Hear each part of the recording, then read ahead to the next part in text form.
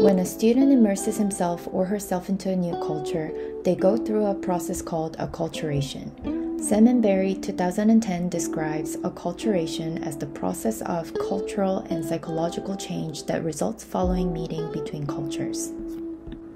So in this video, I'm going to explain one's psychological changes that occur during the acculturation process, plus some commonly practiced strategies to help facilitate one's adjustment during the acculturation process. The acculturation process is divided into four stages the honeymoon stage, culture shock, the adjustment stage, and recovery. In the honeymoon or the excitement stage, People are ecstatic about the new surroundings, focusing on the positive aspects of the environment. In many cases, for international students, they experience this stage when they first arrive in their study abroad countries. Then the aggressive stage or culture shock sets in when they realize the differences between their native country and the new place. Noticing the differences between the two cultures makes them feel disoriented. And as for international students, we see them seeking people from the same country, complaining about the new custom, and wishing to get away from the predicament. Such psychological reactions can have substantial impact on the students' both physical and mental health. For instance, showing signs of cold, fatigue, stomach pains, or feeling depressed and anxious.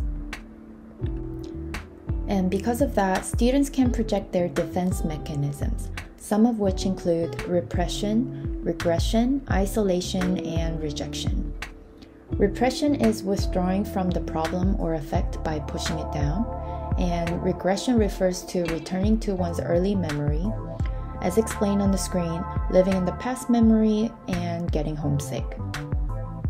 Isolation is isolating oneself without having any interaction with others and rejection is refusing the new experience. And again, these coping strategies are used unconsciously to decrease their internal stress from difficult feelings or thoughts that arise from encountering the new environment. And for many of us, it is caused by losing our native culture. Some ways to overcome this stage is to be proactive and socialize with people, getting involved in activities possibly trying out different extracurriculars, learning the language, and the new customs. All of these aim to grow their understandings of the second culture. After culture shock, people realize not just the differences but notice the similarities between the two cultures, and they begin to gradually accept the differences, meaning they're now in the adjustment stage, also known as the adaptation or the realization stage. Um, in this stage, they might have more empathy for other people in the second culture and might already be working toward to um, resolve issues in their new environment.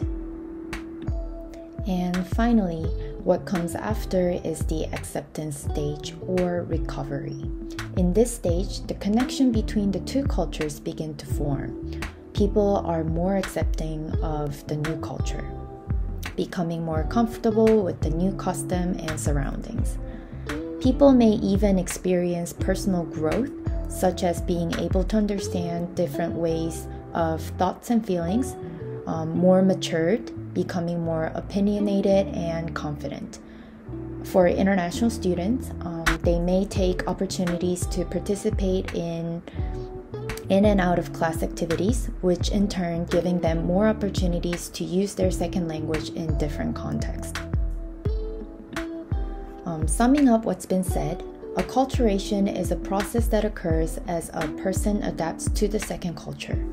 Four stages of acculturation is the honeymoon, which is being excited about the new culture, and culture shock, where um, people are um, distressed because of the differences between the two cultures, and adjustment where they gradually see the similarities, and um, finally, recovery um, where they feel as though they are in part of the community. Although the second stage, culture shock, may sound like an endless fight, it is important to note that it is temporary and going through the stage can actually help you grow and that there are many more strategies to overcome culture shock. Thank you for listening to this video, and I hope this video was helpful for you to understand what it's like to adapt to a new culture.